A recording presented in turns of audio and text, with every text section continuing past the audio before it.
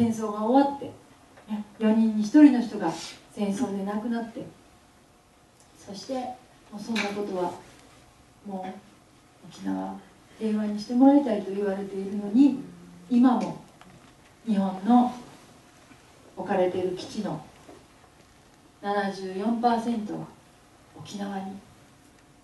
あります。これが日本の平和の姿です。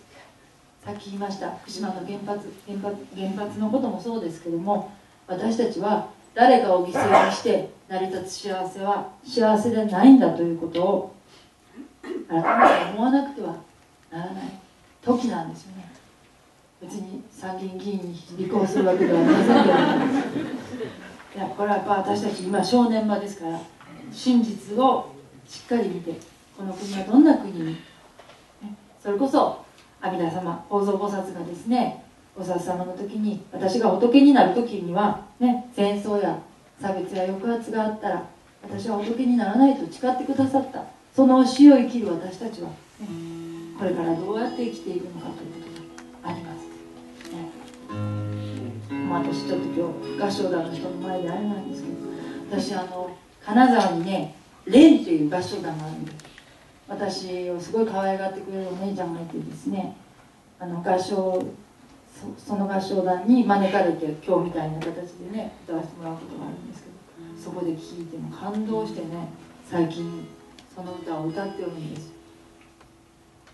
阿弥陀様の願いが私に届くという歌なんです。最後にね、まあ、今日も昇進さんで歌っておられましたけど「がんに宿毒」っていうでしょ。平等性一切同法同物菩提心往生安楽国これを意訳しているご存知ですか？エコーという歌があるんです。あの歌は好きでねもうプロの前で恥ずかしいですけどよかったら一緒に歌ってください。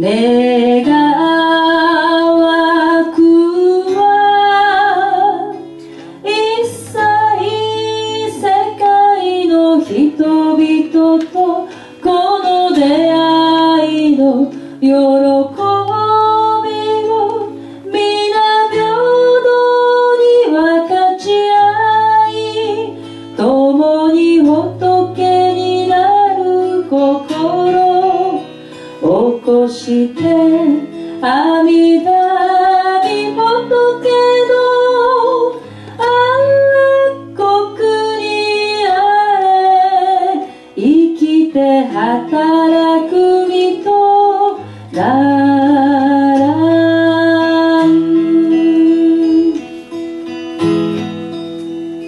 내가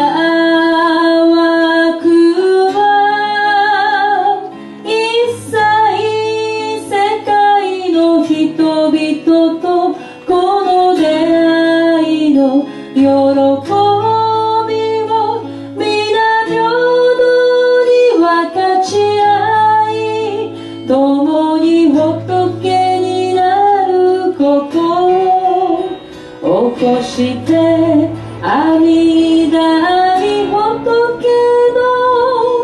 安国にあれ生きて働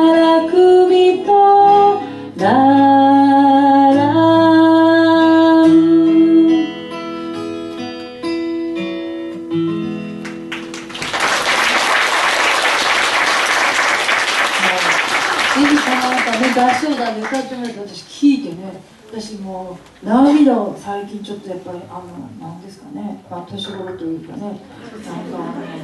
あのものすごく感動してこれが仏様の心だと思ったんです、ね、願わくば一切世界の人々と、ね、この出会いの喜びをみんな平等に分かち合い共に仏になる心を起こして阿弥陀に仏の安楽国にあれそして生きて働く身となる私たち何のために生まれてきたのか、ね、改めてなんかすごい感動したんです。ぜひ歌ってくださいね。